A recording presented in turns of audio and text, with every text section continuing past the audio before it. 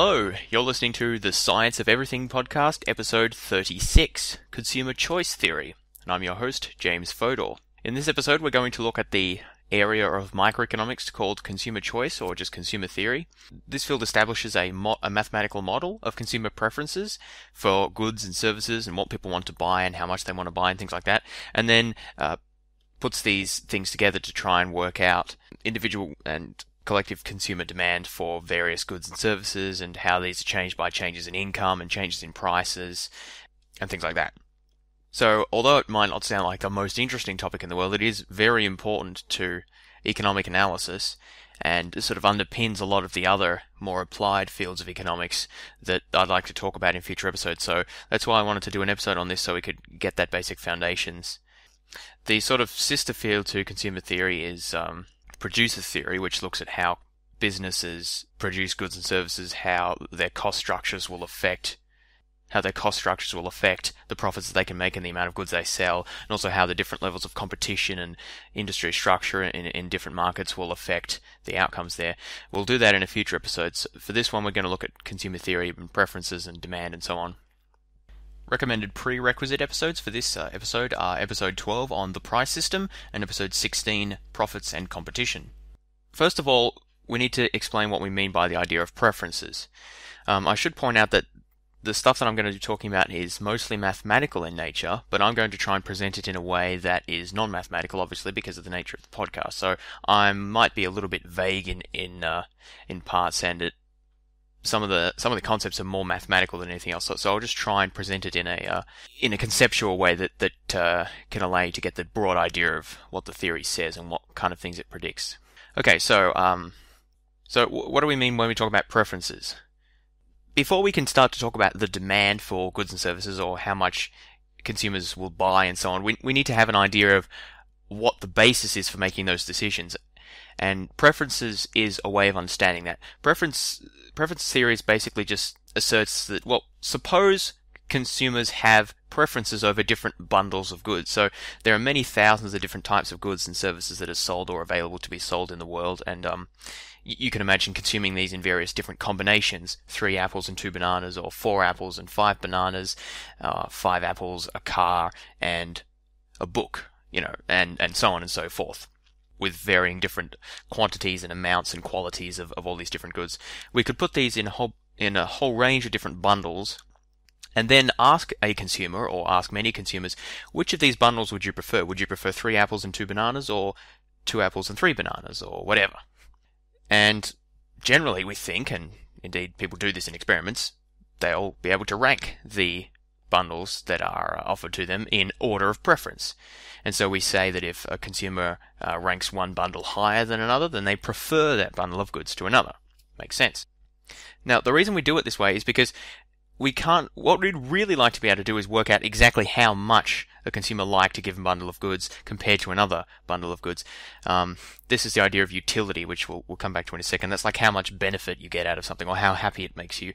But this this approach was sort of taken earlier on in the history of economics, but it was sort of abandoned because you can't measure utility in any in any meaningful way, um, even theoretically. Uh, you can't measure the subjective satisfaction that someone gets from something. So all you can do is work out on a behavioral basis, even even even if this is sort of a hypothetical behavior, which would they prefer? Would they prefer bundle A or bundle B or bundle C of goods? Which which which collection of goods and services would they prefer over another one? You won't be able to tell how much they prefer it, but you'll just know that it's preferred to another. Okay, so having this concept of preferences, this is this can be formulated like in mathematical set theory and so on. We won't worry about that. But um, in order to in order to develop the model, what's necessary is to make a few assumptions about the nature of these preferences, because just having an idea of purely of preferences doesn't doesn't necessarily tell you very much. The, the preferences could be uh, in any sort at all. So economists make a few assumptions which are which are uh, borne out to varying degrees by the empirical evidence, and I'll talk about that in a second. But they make a few assumptions about the nature of these preferences, which helps them to make more specific predictions uh, from from the model of consumer choice that we're building. Okay, so the first assumption they make about preferences is that preferences are complete, which simply means that any two bundles can be compared and the consumer can choose which one they prefer, or say that they don't care, that that means they're indifferent between the two bundles. Now this seems like a fairly innocuous assumption. Um, there doesn't seem to be any reason why this would why this would be false. I'm not aware of any experimental results or even the- theoretical reasons why this wouldn't be the case. If you present someone with two bundles, they'll always either tell you, I prefer bundle A, I prefer bundle B, or I don't care. There's no inability to uh, to make a ranking there. It might be difficult to decide sometimes, but as long as the decision can be made, then completeness is satisfied. Okay, so that one's that one's fairly innocuous. Assumption two is continuity. Now this is mostly for mathematical convenience, it sort of means that there are no sudden reversals in preferences, so that similar bundles will be treated similarly. So that would be sort of like if you like three bananas and two apples, then all of a sudden when we went to four bananas and two apples, you wouldn't dramatically lower that in your preferences. Uh, that's that's not a very satisfactory explanation of what continuity means. It's, as I said, it's mostly a mathematical assumption and is fairly innocuous in practice. It just says that similar bundles will be sort of similar and won't be dramatically all over the place. Maybe you could think of examples where that wouldn't hold, but generally we expect it to hold, so we don't worry about it too much. So uh, we've we've got completeness and continuity. The third assumption is transitivity. This is a word you may have heard before because it occurs in a number of contexts. Transitivity or transitive preferences means that ordering of bundles or ordering of the preferences is consistent. So, uh, to give an example, this this means if you have transitive preferences, then if you prefer apples to oranges, and if you also prefer bananas to apples, then you must prefer bananas to oranges. So I'll say that again. It's kind of like saying if 1 is greater than 2, so, sorry, if 3 is greater than 2 and 2 is greater than 1, then 3 must also be greater than 1. Now that seems obvious, and it, it is obvious when we t- when we're talking about numbers, but when we're talking about sets or just groups of things, it's not necessarily the case, or it doesn't have to be the case at least. But in in um, consumer theory, we assume that it is the case. We assume transitivity. Now, this is a very important assumption because if you have intransitive preferences, it means someone, it means at least in theory, uh, a consumer could um, be vulnerable to exploitation um, in a phenomenon called the money pump.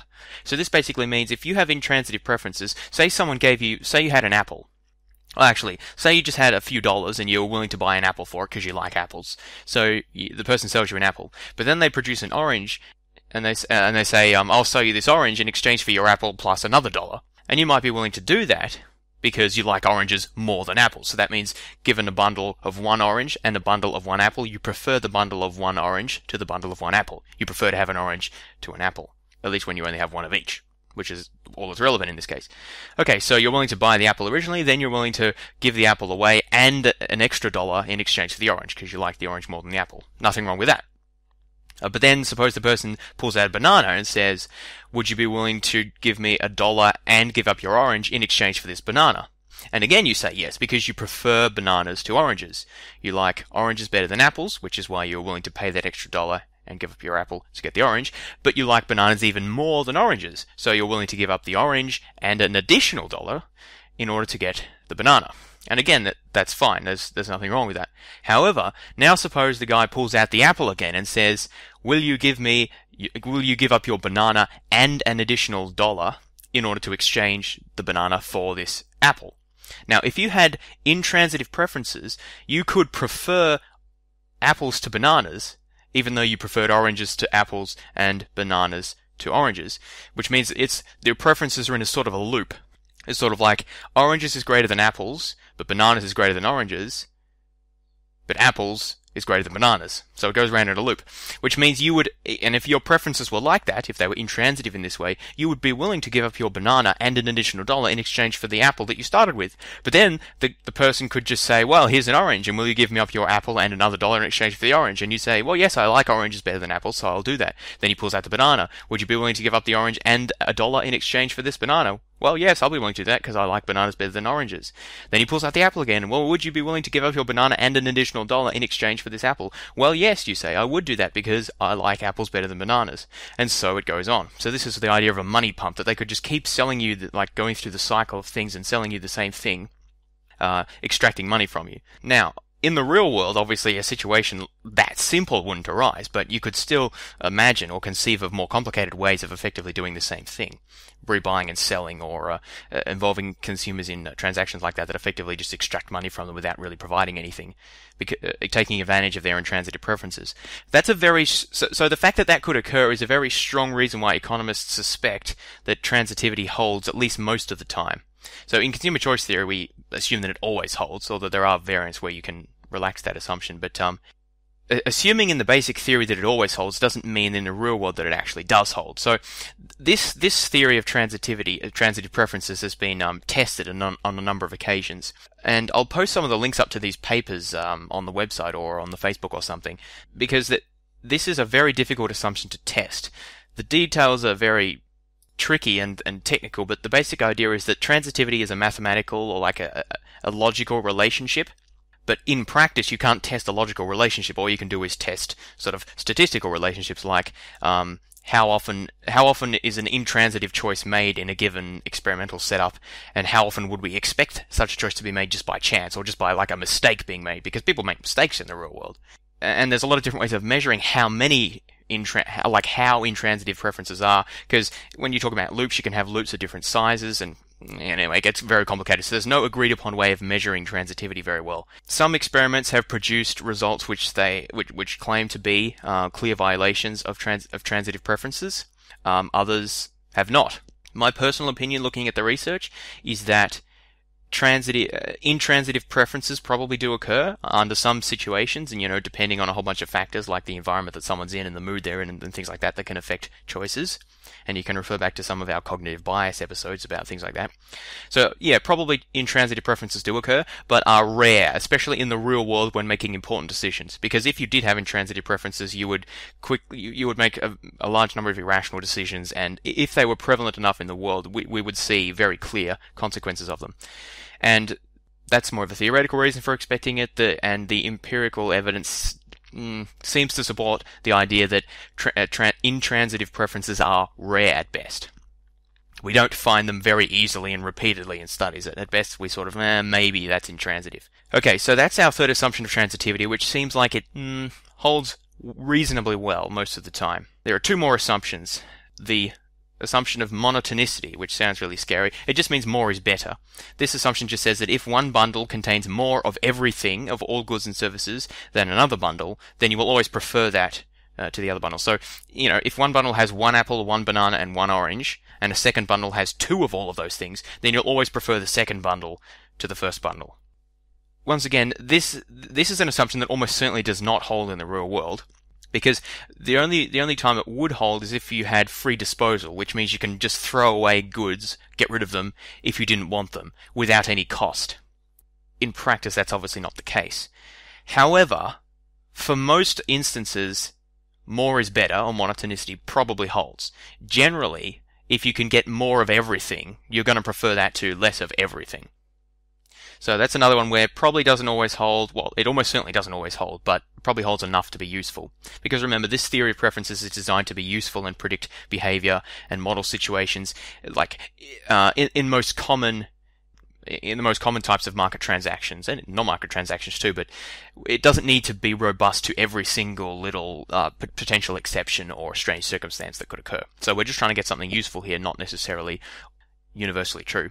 So that was the fourth assumption, monotonicity, or more is better. The final one is convexity. Now this this assumption is not essential, but it's usually added on because it makes the makes the math easy, basically. Um, convexity is another technical assumption. Basically, it means diminishing marginal benefit. Now I should explain what that means. The marginal benefit that you get from something is the extra benefit that you get from consuming or buying or having one additional unit of the substance. So I, I may have mentioned this in a previous episode, but I'll just quickly go through it again. So for example, if you only had access to a single glass of water all day, the marginal benefit that you would get from that would be very high because you need to drink that water in order to stay alive. Um, second glass of water would be very high as well, slightly less because you've already had one glass to drink, but you'd still need a second glass to drink. Um, by the time you've got many glasses of water, you're going to start using the you don't need to drink it anymore because you've had enough to drink. You'd probably use it for cooking or for washing your hands or something like that, which is a pretty important use, so your benefit's going to be pretty high, but not as high as for the first couple of glasses which you needed to drink. So your marginal benefit, the benefit that you get from those extra few glasses, is going down. By the time you have heaps and heaps of water, you've already used and you already have plenty for drinking, plenty for cooking, plenty, plenty for washing. You're probably using it for things like watering your lawn or washing your car or something like that. That's not that important.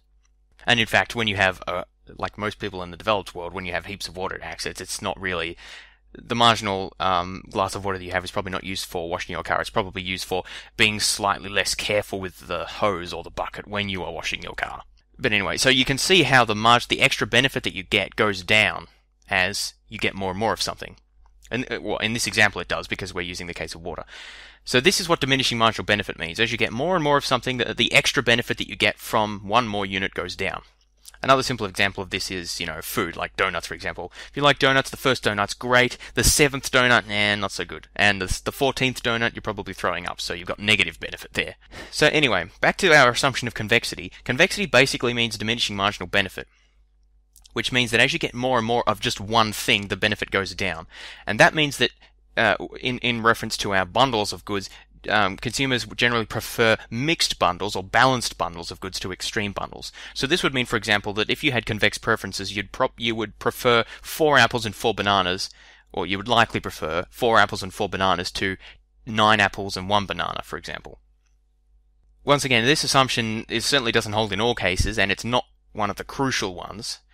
The first three that I mentioned are the really crucial ones completeness, con- continuity, and transitivity. Um, however, convexity makes it e- makes the math easier, as I said, and it probably holds a lot of the time. Probably, we generally expect people to have to prefer balanced. Uh, balanced bundles over extreme ones, and we, in fact, we can look at household data and see that people spread their expenses over a wide range of uh, of different areas, and they don't just spend inordinate amounts of money on one over the other. So that seems to be borne out in the data. Okay, so those are our five assumptions about preferences.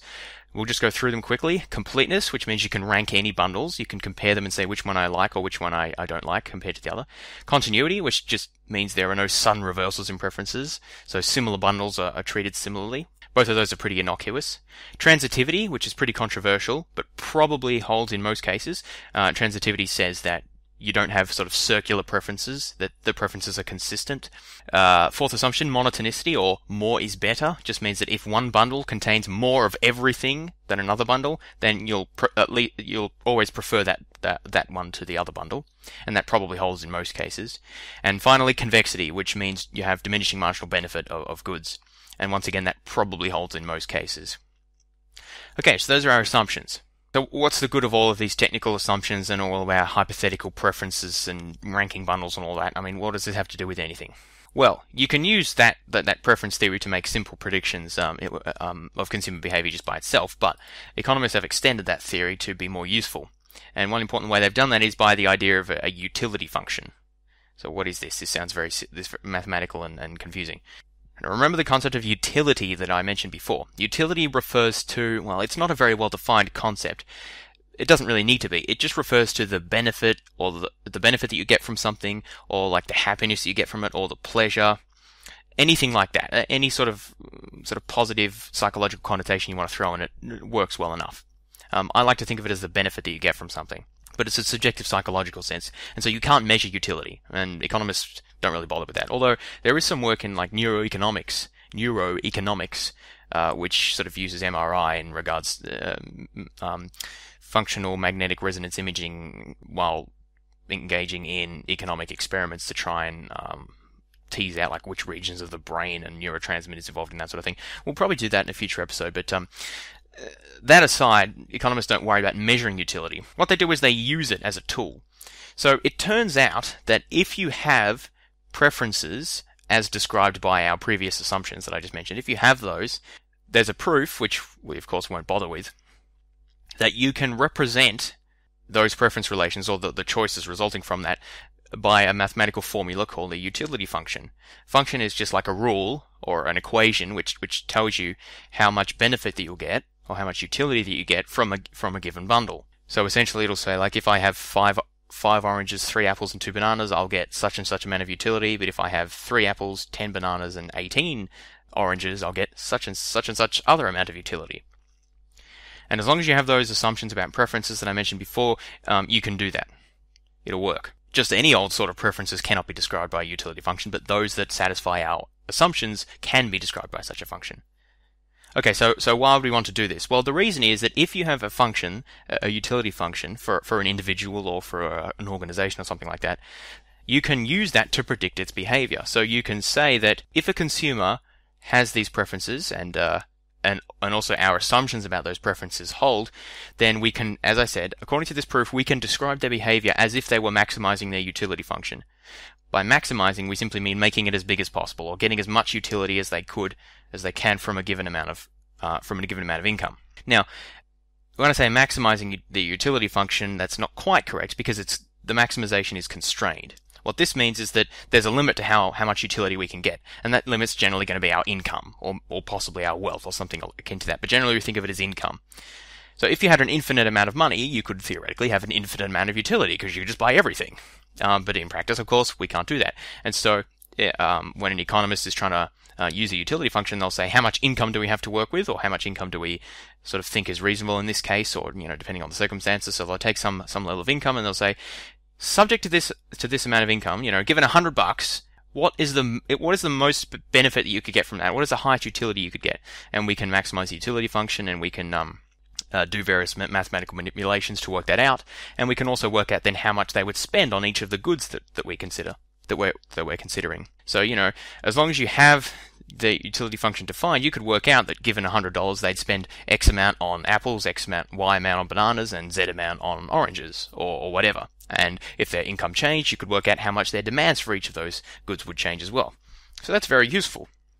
Now remember, the actual utility as such, that the number that we get out from that doesn't matter. All that matters is that we can use the utility function to, to make predictions about demand uh, and substitution and things like that, which I'll come to shortly. The other thing that's important about utility functions is that we need to be able to specify what the utility function looks like. Because different utility functions represent different underlying preferences, and different people have different preferences. And so that's the tricky part, or one of the really tricky parts about a consumer theory is knowing what the utility function looks like. You could try and measure that experimentally, but that's that's very difficult. Usually, uh, economists will abstract a bit and uh, well, a lot actually, and just use general forms of utility functions that they that they think are reasonable. But uh, I'll talk more about that in a, in a little bit. Okay, so before uh, we advance to the next part about demand curves, let's just take a quick recap of what we've done. What we're trying to do is we're trying to build a theory or a model uh, explaining how consumers make choices about what to buy given certain incomes and how that changes with prices and income and so forth. Uh, to do that, we assumed that consumers had preferences over bundles of goods bundle just different groups of goods and services that, that they had that they could buy. Uh, we assumed that these preferences were subject to five assumptions, which we mentioned before, and it turns out that if consumers do have preferences, and if they do, these preferences do abide by these five assumptions, then we can describe consumer behavior as if the consumers were maximizing utility functions subject to their budget constraint, meaning that given a certain amount of money, consumers will uh, buy goods and services or split up their money on spending different things uh, in in accordance with how our utility function would predict. Now, this this model is often criticized on the basis that it's unrealistic. It is unrealistic. Any model is unrealistic. That's the whole point of a model because if a model was perfectly realistic, it wouldn't be a model anymore. It would be the reality, which is not very useful because we're trying to understand the reality, not just sort of duplicate it. The the other main criticism is that consumers don't do anything like this. Consumers don't know what a utility function is and they don't think of themselves as maximizing utility functions and so forth. And that's certainly true. Consumers mostly have no idea what a utility function would be. But the point is that doesn't matter. Cons- uh, economists don't say that people do maximize utility functions. People don't, economists wouldn't say that there is a utility function inside someone's head and they are consciously or even unconsciously maximizing it when they make decisions. All economists would say is that the way they behave is consistent with the way someone would behave if they did maximize a utility function. So it's it's an as if argument. They're behaving as if they maximize utility function even though that's not actually how they're making decisions. Even that sort of reduced claim is also false because um, if you look at the field of behavioral economics, you can see many exceptions to to utility maximizing behavior.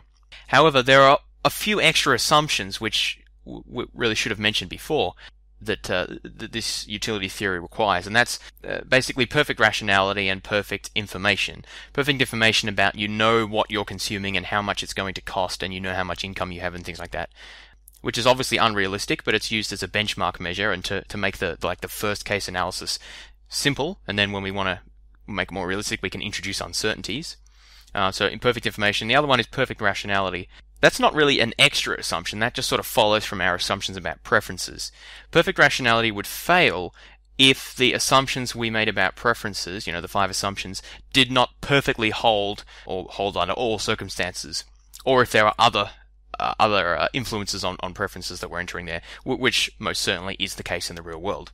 So this utility maximizing behavior is not going to perfectly or necessarily even very very accurately represent reality. The proof is in the pudding, really, about how accurate are the predictions it makes and how useful is it for for uh, modeling various outcomes.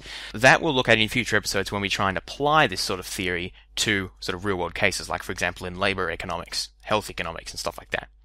And on the whole, I would say it's fairly useful. Basically, because although people don't have perfect information, and although people are not perfectly rational, they do have some information, and they are somewhat rational, and so they make decisions that are somewhat and reasonably consistent with those of utility maximization theory. So, you know, when when the price of something goes down and other things are being equal, people buy more of that and less of something else. When something gets more difficult, people and and the the benefits of doing it roughly the same, people do less of that thing. You know, these are the, these are the things we would expect from utility maximization theory. Okay, so uh, that's that's uh, where we are at the moment. I now want to move on to talk about demand curves and elasticities and substitution and income effects, which is where all this preferences and utility stuff has been leading. And this is the really interesting part of it, I would say. Now, a demand curve just tells us how much of a, a given type of good the consumer is willing to buy, depending on prices and income. You could have a demand curve for a single individual, or you could have one for the market as a whole. We'll just think about one for an individual person for the moment. Now you can you can get these demand curves. Can, that is, you can derive them mathematically from a utility function, which in turn comes from underlying preferences. So demand curves fall directly out of the assumptions we make about preferences. That is, if you have preference, if a consumer has preferences and they and the preferences fulfill the assumptions that we make, they'll have a demand curve as well, and the demand curve will um, satisfy certain properties that make it easy, relatively easy at least, to deal with. So, th- so that's the good thing about demand curve. Basically, it tells us some basic things, like generally, if the price of something goes up, consumers will buy less of it. They'll buy something else instead. Or if their income goes up, consumers generally buy more of something. The downside to demand curves is that we can have individual consumer demand curves. That's no no real problem. But when we try and have an overall market demand curve, it becomes problematic. In other words, you can't aggregate individual uh, demands up to form a market demand curve. There are very complicated reasons why you can't do this. The basic idea is that as prices change, some consumers gain in income and others lose in income because prices are prices relate to individuals' income because you know wages and interest rates and stuff like that are prices and they but they also relate to income. So as prices change, income changes, and so you've sort of got two things changing at once, and that screws up the whole demand curve thing, which assumes that the demand is independent of your income level. The demand will change when you change income, but it won't change when just prices change. How, so, so, that means we can sort of talk meaningfully about, well, what is the demand response, the quantity demanded response uh, of a consumer to a change in price? But if prices affect income, then you've got too many things happening at once and you can't meaningfully talk about it. So aggregate demand curves, that is like uh, you add everyone's demand up for apples or everyone's demand up for cars or something like that, don't work so well in the same way. Economists do use these. In fact, that's sort of mainly what they use. Um, but you have to make a few extra assumptions, manifestly unrealistic ones, if you want to derive them directly from preferences. A better solution there is simply to say that we'll assume that the overall demand curve like slopes downwards, which essentially means that when the price goes up, people buy less, uh, which holds in pretty much all circumstances. So seems a reasonable enough assumption to make. So that's demand curve. We can get that from preferences. Uh, what else can we get from this theory of preferences? Substitution and income effects. Now, these are a really important concept. Substitution and income effects are two different ways in which demand, that is the quantity that you demand, the amount of something you want to buy, two different ways in which the demand responds to changes in prices. Let's, ma- let's imagine we have a consumer who likes to buy oranges, and the price of oranges goes up a reasonable enough amount so that it makes some difference. Now, as a result of that, two things have happened. One is that the price of oranges is higher compared to other things. So I guess I should have added, we'll assume that everything else stays the same. The only thing that's changed is the price of oranges goes up. So the price of apples is the same, the price, the price of bananas is the same, the price of cars is the same, etc. When the price of oranges goes up, oranges are now relatively more expensive compared to other goods. So this will lead to what's called a substitution effect. The consumer will substitute away from oranges towards buying other things. The substitution effect is always negative, which, uh, and this is sort of what's called the law of demand. It means that when a good gets relatively more expensive compared to other goods and your income stays the same, you'll always buy less of that good. Or technically, you might still buy the same, but you'll never buy more of that good. Th- this comes out of the basic assumptions about preferences and really and really makes sense and is, and is borne out by empirical evidence. Basically, if something gets more expensive and your income stays the same, there's no reason at all you would buy more of it You may still buy the same, you may buy a bit less, you may buy a lot less, but you're not going to buy more of it. Because if you wanted to buy more, why wouldn't you have bought more in the first place when it was cheaper compared to other things? Uh, so that's the substitution effect. The income effect is the second thing that happens when the price of oranges goes up. When the price of oranges goes up, the consumer is now poorer than they were before as long as they are at least spending some positive amount on oranges. If they spend zero on oranges, then that's not going to make any difference. But the reason they're poor is because their real income, that is their income taking into account the prices that they spend for things, has gone has gone down. Because income, like in dollar terms, you know, they, they earn ten thousand dollars a year, and the price of most things is the same, but the price of oranges has gone up a bit. So their real income adjusted for prices has gone down just a little bit you know, and if it's the price of cars or the price of housing that goes up, then maybe their real income goes down by a lot because they spend a lot on those things. But you probably don't spend that much on oranges, so a rise in the price of oranges is not going to reduce your income by much, but it will reduce it by a bit. And that has an effect. It has an effect on many things, but it will have an effect on the demand for oranges, which is what we're interested in in this case. However, unlike the substitution effect, the income effect can be positive or negative, so it can work in either direction, just depending on the underlying preferences basically. So this means that the individual might buy more oranges or fewer oranges as a result of their income going down, their real income going down. Remember, I said income is constant. What I mean by that is nominal income, income measured in dollar terms, is constant, but real income, adjusted for the actual price you pay for things, has gone down because prices have gone up, or at least the price of oranges has gone up in this case. So, just a quick recap. So far, we've got the substitution effect, which is always negative. That means when the price goes up, you always buy less of something. That's simply because of the change in the ratio of prices of different goods. And we've also got the income effect, can be positive or negative, and that is due to the change in your price adjusted income that results from changes in prices of goods. Because when the prices of goods change, your real income changes, and therefore you may buy more or less of uh, the good in question. So just just to motivate these concepts a bit, let me introduce you to to a sort of an interesting paradox uh, that this theory is useful for explaining, which is the concept of a Giffen good. One example of this is uh, occurred in the Irish potato famine, or at least this is given as an example. It's not 100%, I'm not 100% sure if it is a true example, but it's a good one to illustrate the point anyway. And that is that during the Irish potato famine, when the price of potatoes went up dramatically, that reduced uh, Irish peasants' incomes to such an extent that they actually bought more potatoes. That is, the price of potatoes went up, but the demand for potatoes went up regardless, which is the opposite of what you would normally expect to happen. So, so according to sort of traditional ideas that the demand curve slopes downwards and that when the price goes up you always buy less, this would be impossible. However, we can understand this apparently paradoxical situation using the concepts of the income and substitution effects that we've just outlined. When the income effect is positive, this is called a normal good. That just means that when you get richer, when your income increases, you buy more of the good. It's called a normal good because most goods are like that. You get richer, you want more of it. But some goods are called inferior goods. When you get richer, you want less of it. Maybe cheap wines or low quality meats would be an example of these things, or, or just or cheap housing. It's unlikely that whole classes of goods would be inferior, but specific types of them may be. So, like the cheap versions would be inferior goods. You want to move up to better quality things, so you actually buy less of some things when your income goes up. Those are called inferior goods. Now, be careful though. This is just the income effect. This is the effect purely of changes in income on your demand for some good. This is not the substitution effect. The substitution effect is always negative, so when the relative price of something goes up, you buy always always buy less of it, just considering that effect. When your income goes up, you may buy more or less of something depending upon whether depending upon whether it's a normal good or an inferior good. Now in the case of a Giffen good, which I mentioned a second ago, that is where the income effect is negative, so you buy less of something as you get richer, or equivalently, you buy more of it as you get poorer. So that has to happen. But also, the income effect has to be bigger than the substitution effect, which means if the price of something goes up, your income goes down, which which increases your demand uh, for the good. That's the inferior goods part. However, the price of it's gone up, so the substitution effect is still negative. The substitution effect is always negative. However, if the positive income effect, because it's an inferior good, exceeds the negative substitution effect, then the overall demand, change in demand, will be positive. That is, you'll buy more of something when the price goes up, even though that's normally the opposite of what happens.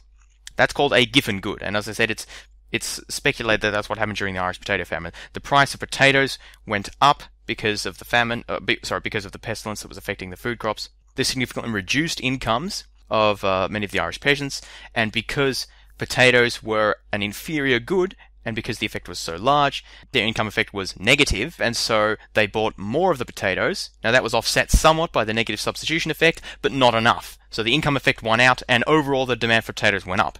Now, of course, if that happens, the price is also going to go up, and that will just reinforce the cycle. So that's uh, one of the reasons why it was such a problem. When you add up the substitution and income effects, that produces what's called the total effect. Sometimes substitution and income can work in opposite directions, sometimes they work in the same direction. So um, that's a, that I would put as an example of a very powerful use of, of consumer theory, because otherwise a Giffen good would just be completely you'd be completely unable to understand how the demand for a good could possibly go up when the when its price went up. That should never happen. It contradicts the law of demand. Well, with this with this utility theory, we can explain exactly how it happens and even predict in, in circumstances when it would happen. That is when you have a, a single good whose price goes up that is very important to income, and that is also an inferior good.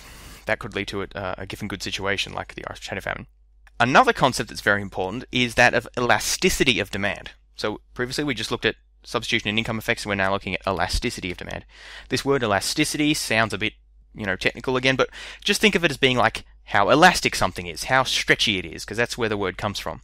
We know that when the price goes down, the price of some good goes down, pretty much always the demand goes up, or the quantity demanded goes up, I should say. And similarly, when the price goes up, the quantity demanded goes down. Giffen goods excluded. Uh, those are very rare anyway. Um, so, so, so that's always the case. The question is, how much does it go up or down? Demand might go up, quantity demanded might increase, might increase by a little bit, or by a medium amount, or by a lot when price changes. And the theory itself doesn't tell us uh, how much it would be. We have to measure that empirically, and we can do this by measuring elasticity of demand. Um, so basically, what we do, uh, elasticity of demand is just a ratio. It says like when you have a given, when price goes up or down, but in this case we'll think up. Price goes up by 1%, how much does demand change? If demand also changes by, if quantity demanded goes down by 1%, remember we would expect it to go down if price goes up, then that's called unit elastic. It sort of balances out. It's just sort of average. The change in demand is similar in size to the, well, it's exactly the same in size in this case, to the proportional change in price. If demand goes down by a lot more, like 2% or 3%, then we call that elastic demand, which means that demand responded a lot to the change in price. Price changed by a bit, but demand responded a lot. If the response in demand is small, like half a percent or 0.1%, uh, to, uh, in response to a 1% change in price, we call that inelastic. So it's not very stretchy. Demand doesn't respond very much to a given change in price. Now, generally, goods that we think of as uh, necessities or essential basic things have low elasticity of demand. That is, they are inelastic. The reason for this is uh, that generally they're so cheap and also uh, so necessary that people don't really care how much they, they, they cost.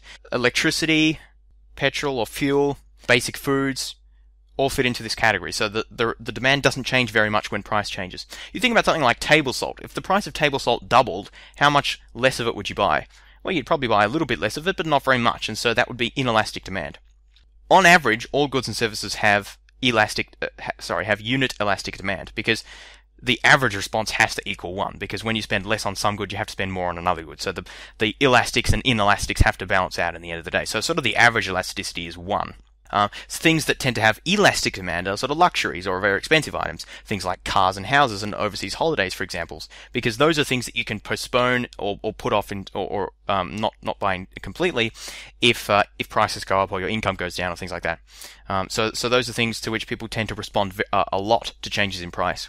However, we shouldn't think of elasticity as sort of intrinsic to the good in question. It's going to depend upon people's incomes, the, the social and political and economic situation, and it's also going to depend upon the amount of time that, that has passed. Over time, it becomes easier and easier to substitute one good for another. So substitutes are just goods that can be used, that can be um, swapped out for another. So a good example of that is, say, gas and electricity. You can use gas as a source of energy, or a source of cooking, or a source of electricity generation, whatever, or you can use, well, I guess, coal, say, coal, and then that generates electricity. Coal for electricity production or just electricity for, say, your stove or something like that. They're substitutes for each other. You can use one or the other, but you don't need both. If the price of one goes up, you switch over to the other. And so you substitute one for the other. Now, it might be difficult to make substitutes. So, um, another example of a substitute would be instead of driving to work, you take the train, or, or vice versa. That might be difficult because you've got to figure out where the train leaves and you've got to figure out a way of getting there. Um, maybe you even have to move house. That could be tricky. So that's why we expect elasticities to increase over time. That is, people respond more to price changes as more time passes, basically because they have more time to change their behavior. At the very, a good, a really good example of this is petrol or car oil. Now, people will say things like non-economists, I should say, would say things like, "Well, it doesn't matter if the price of um, of the price of oil goes up. People need to drive, so they'll just buy the same amount." This is incorrect. Remember, the substitution effect is always negative. When the price of something goes up, the demand always goes down. This always applies unless it's a Giffen good, and oil is not a Giffen good. We've measured this, it's not a Giffen good. Very, very few things are. So the question is just how much of a reduction in demand will there be in response to a rise in the price of oil? And the answer is the size in the reduction will increase over time. So in the very short run, you know, just a couple of days after the price of oil goes up, there's not so much you can do about it. You can maybe be a bit more careful, uh, try and drive at more efficient speed, try and avoid driving if, you know, if you can, if you can walk to a house that's five minutes away instead of driving, yeah, maybe you'll do that because it's a bit more expensive. But probably you can't reduce your demand too much. Over a bit of a longer term, maybe you could get your car serviced more regularly, or you could even buy a more fuel efficient car. Uh, try and maybe change the route that you drive to work or something like that. Various other things you could do to try and reduce your fuel consumption. In the very long run, you might even move house to get a to live closer to your job or something like that uh, in order to reduce your fuel consumption. And if, you know, whether you do that depends upon how much of a rise in the fuel price there are and a whole bunch of other factors. But everyone doesn't have to do that. As long as a few people do that, there'll still be an overall response in demand. And that's a key co- concept in economics, the sort of marginal response. It doesn't have to be that everyone changes their behavior. Even if only a few people do, that will change the overall demand for oil, which will in which will therefore be represented by uh, the response in, in demand. So the point though is that the amount of flexibility you have increases over time and so that the elasticities also tend to increase over time. What we've been talking about so far in terms of elasticities is more technically called own price elasticity of demand. That's when the price of oranges goes up, how much does your demand for oranges go down or there's also such a thing called cross price elasticity of demand. This refers to one good's price having an effect on the quantity demanded of a different good. That is, if the price of oranges goes up, what happens to your demand for bananas? Or for eggs, or for whatever else? Now, there's sort of three things that cross price elasticity can be. It can be positive, it can be negative, or it can be zero, essentially. If it's zero, it means the two goods are not related. They just have nothing to do with each other. So my demand for, I don't know, physics textbooks really has nothing to do with the price of oranges. I don't care what the price of oranges are when I'm buying physics textbooks. And I do buy physics textbooks, by the way. So my cross price elasticity of demand would be zero. However, the goods goods can also be complements. That is, if you have one good or if you want one good, you're more likely to want the other. So a great example of this is renting a DVD. What do you want? You want snacks, particularly popcorn or something like that. So those are complements. They go together. A car and petrol to fuel the car go together. Complements are goods that sort of, when you have one, your demand for the other one increases. And so complements tend to have negative cross price elasticity, which means that if the price of one goes up, you'll tend to buy less of both of them. Because, say we're talking about um, movie tickets and popcorn prices, for example. And let's pretend these are set completely independently, which is probably false, but we'll just assume that. So movie ticket prices go up. That means we go to the movies less often. What does that mean? Well, it also means we buy less popcorn. So um, our demand for popcorn also goes down alongside our demand for movie tickets. Uh, these are complements, so they move together. That's a negative cross-price elasticity. A positive cross-price elasticity occurs when goods are substitutes, which I mentioned before. This means that you have one or the other, but you don't want both. Or in other words, if you have one, you're less likely to want the other. So this is the opposite of complements. Complements, you have one, you're more likely to want the other. If you have a movie ticket, you're more like, likely you're more likely to want popcorn than if you didn't have one, because they go together. Uh, examples of substitutes, as I mentioned before, gas and coal, for example. You don't need both of them, you need one or the other. Uh, another example would be a train ticket to a certain place or, you know, renting a car to go to that to go to that other place. You, you don't need the train ticket and the rented car. One or the other is enough. So in that case, um, when the price of say the train ticket goes up, your demand for the train obviously goes down because it's more expensive, but your demand for the renting the car will go up now because people are moving away from taking the train to taking cars instead. This is an example of sort of responsiveness to changes in price.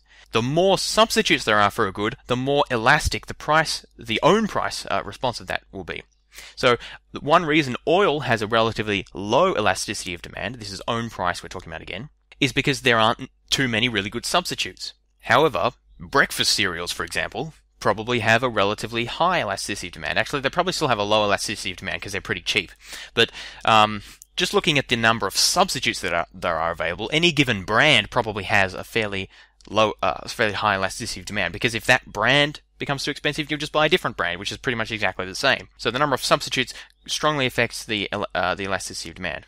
Finally, there's one other important type of elasticity, which is the income elasticity of demand. So previously, I've been talking about price elasticities of demand, which is price changes, how does your demand change? Income elasticity of demand is your income changes, but price doesn't. How does your demand change? And if if it's a normal good, your elasticity of your income elasticity of demand will be positive because you buy more of something when your income goes up. If it's an inferior good, you'll buy less of it, and so your income elasticity of demand will be negative. And the size, the absolute size of your elasticity of demand depends on how sensitive you are to changes in income. When someone gets a lot richer, they probably don't much change their demand for toilet paper, but they probably do substantially increase but they probably do substantially increase their demand for caviar, for example, so their income elasticity for both of those, toilet paper and caviar, would both be positive, let's assume, but the income elasticity of demand for toilet paper is probably pretty low, that for caviar probably pretty high. Okay, so that's uh, the main topics I wanted to cover in this episode. I hope it wasn't too dry. Um, as I said, it's mostly setting up for future episodes when we need to apply these concepts, and so it's useful to have them. So just just a very quick recap. We talked about uh, how consumers have preferences, the five assumptions that we place on those preferences, how we can use these assumptions about preferences to construct utility functions and describe consumer behavior as maximizing that utility function to do the best you can given a restricted amount of resources or income that you have access to. We talked about how that you can then use this utility maximization to um, derive demand curves, how much of a certain good or a bunch of goods consumers will pay, uh, how, how, much they'll buy depending on how much income they have and what prices are. We talked about how this le- these levels of demand will change when prices and income change. These were our substitution and income effects. And we also talked about the relative sizes of those changes, which is our elasticities of demand and income elasticity of demand. So I hope you enjoyed this episode.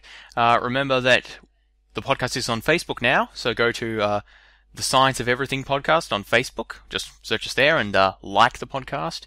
Um, you can also send me an email if you have suggestions or feedback, praise, criticisms, whatever. fods12 at gmail.com. Thanks for listening, and I'll talk to you next time.